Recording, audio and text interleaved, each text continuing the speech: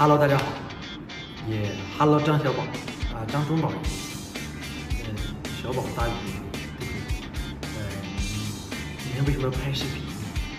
这非常沉重的一个告别视频，至于要告别什么，大家可以先猜一下，告别十五岁的我自己。为什么要告别呢？因为这可能是我奔向十六岁这个年纪的最后一条视频。其实也不是告别，就是录个视频记录一下。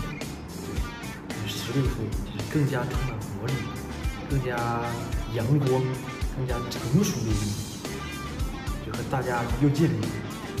就是十五岁的人又又少了，少了我，可以骑电动车了。